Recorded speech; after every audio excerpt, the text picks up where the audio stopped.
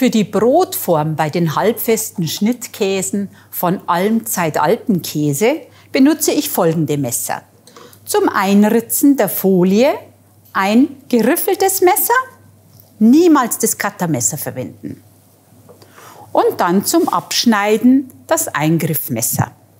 Bei der hohen Brotform von dem Almzeit-Alpenkäse benutze ich zum Einritzen der Folie wieder dieses Messer mit der Riffelung und zum Schnitt das Doppelgriffmesser. Da habe ich einfach einen besseren Ansatz und viel mehr Kraft. Bei dem Schnittkäse Berger der Bergbauern mild nussig ritze ich erst mit diesem Messer die Folie ein und dann schneide ich die Stücke mit dem Doppelgriffmesser ab.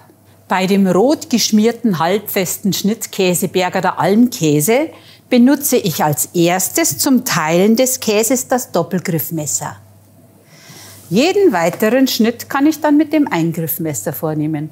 Für unsere Weichkäse von Bonifaz benutze ich als erstes das lange Eingriffmesser mit der Riffelung, damit der Käseteig nicht kleben bleibt. Die lange Klinge macht, dass ich in einem Stück durch den Käse komme und einen sauberen Schnitt ausführen kann. Für jeden weiteren Schnitt benutze ich das Weichkäsemesser mit der schmalen Klinge. Den ersten Schnitt bei Bavaria Blue, dem feinwürzigen, dem Weichkäse, führe ich wieder mit dem langen Eingriffmesser mit der Riffelung durch, um einen sauberen Schnitt zu erhalten.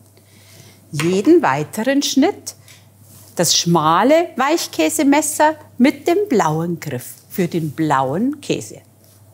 Bei dem halbfesten Schnittkäse Bavaria Blue der Würzige benutze ich erst zum Einritzen der Folie das geriffelte Messer und anschließend die Harfe. Die Harfe macht viel sauberere Schnitte und die Käse werden viel exakter. Der halbfeste Schnittkäse Berger der Edelpilz bricht sehr leicht. Darum ist es ganz wichtig, dass er sehr sauber mit der Harfe geschnitten wird.